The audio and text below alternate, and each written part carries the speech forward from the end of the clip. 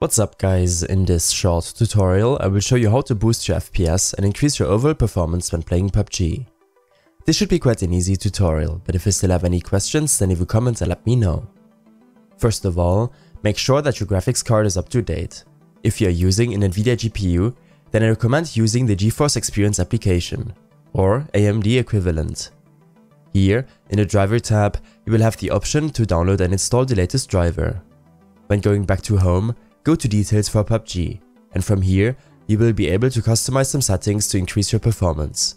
Click on this wrench icon to set the slider to performance. This will automatically reduce your FX, texture and shadow settings. When this is done, open up your NVIDIA control panel by right-clicking your desktop. Here, go to Manage 3D Settings and then Program Settings. Select to add a program and on this window select TSL Game.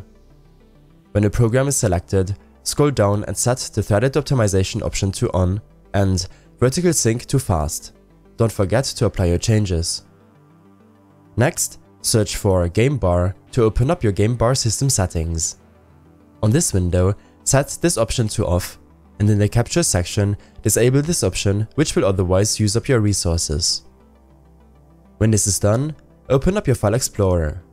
Navigate to the drive on which you saved the game on, Program Files, Steam, Steam Apps, Common, PUBG, TSL Game, Binaries, Win64 and here right-click the TSL application to get to its properties. Here, in the Compatibility tab, select to change high DPI settings and check this box to override high DPI scaling behavior. Next, open up your Steam library.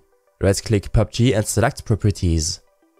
In the General section of this window, click on Set Launch Options. I will leave some useful commands in the description below. Make sure to paste them into this dialog box. Click on OK and you're done. Lastly, search for percentage temp percentage and hit enter.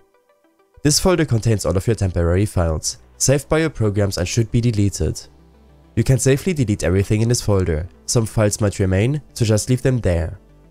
I hope this helped you out Leave a comment if you have any questions and see you in the next one.